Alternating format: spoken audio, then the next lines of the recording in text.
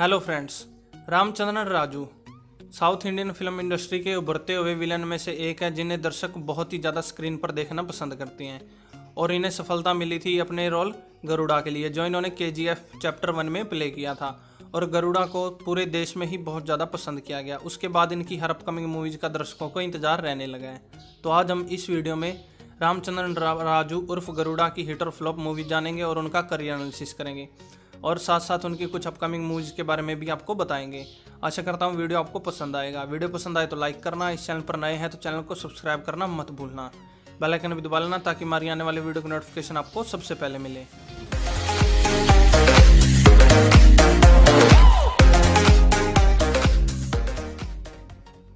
Number one K G F chapter one इस movie का direction किया था प्रशांत नील ने।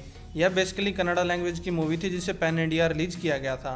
मूवी की लीडिंग स्टार कास्ट में रॉकिंग स्टार यश, श्रीनिधि शेट्टी और रामचंद्रन राजू हमें गरुड़ा के रोल में दिखाई दिए थे। मूवी 2018 में रिलीज़ हुई थी और 8.3 की एमडीबी रेटिंग वाली इस मूवी का बजट था 80 करोड़ और इसने बॉक्स ऑफ़िस पर तकरीबन 250 करोड़ का कलेक्शन किया था और यह कन्नड़ा फ़िल्म इंडस्ट्री की ऑल टाइम ब्लॉकबस्टर फ़िल्म साबित हुई। Number two Sultan. यह एक तमिल लैंग्वेज की एक्शन ड्रामा मूवी थी जिसका डायरेक्शन किया था बकिया राज कानन ने। लीडिंग स्टार कास्ट में करथी, रश्मिका मंदना और रामचरण राजू दिखाई दिए थे।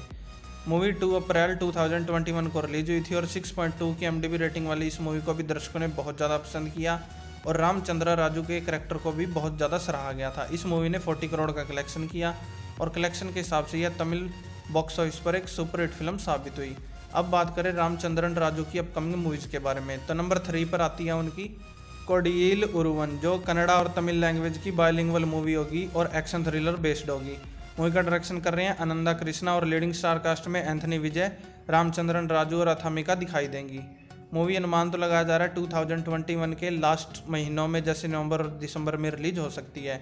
और आप एंथनी विजय की एक्टिंग तो जानते ही हैं, यानी कि यह मूवी बहुत ज़्यादा इंटरेस्टिंग होने वाली है।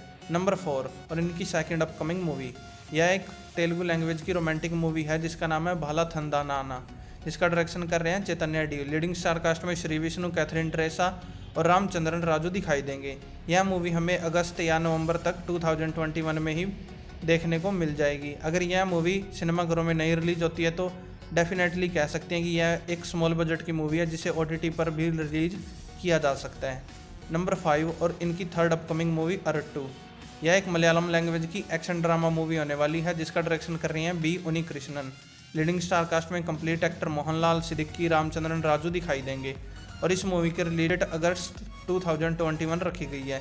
मूवी का छोटा सा टीजर रिलीज़ किया गया, जिसे दर्शकों ने बहुत ज़्यादा पसंद किया और मोहनलाल सर बेहतरीन स्टंट्स करते हुए दिखाई दे रहे हैं। नंबर सिक्स और fourth upcoming movie Arun Vijay 33 यह अरुण विजय सर की 33 मूवी होने वाली है। यह बेसिकली तमिल लैंग्वेज की एक्शन रोमांस मूवी होगी, जिसका डायरेक्शन करने वाले हैं Singam fame director Hari. Leading star cast में अरुण विजय प्रिय भवानी शंकर और रामचंद्रन राजू दिखाई देंगे। इस मूवी की अनुमानित रिलीज़ डेट 2022 हो सकती है। मूवी बेहतरीन और गजब होने वाली है। बात करें इनकी सिक्स अपकमिंग मूवी की तो उसका नाम आता है जनगण मन यह एक स्पाई एक्शन थ्रिलर मूवी होगी, जिसका डायरेक्शन कर रहे हैं आई अहमद। और लीड स्टार कास्ट में जम रवि है, जो एक आर्मी ऑफिसर की भूमिका में दिखाई देंगे। उनके साथ रामचंद्रन राजू होने वाले हैं और लीड एक्ट्रेस के तौर पर प्रियंका अरुल मोहन को अप्रोच किया जा रहा है। हालाँकि उनका होना अभी कन्फर्म नहीं हुआ और यह मूवी हमें ट्वेंटी टू तक बॉक्स ऑफ़िस फ्लोर पर देखने को मिल सकती है। Number eight, bumper.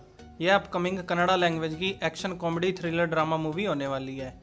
इस मूवी का डायरेक्शन कर रहे हैं संतोष और लीडिंग स्टार कास्ट में धनवीर गौड़ा और रामचंद्रन राजू का नाम फाइनल हुआ है और यह मूवी हमें दिसंबर 2021 तक बॉक्स ऑफ़िस फ्लोर पर देखने को मिलेगी।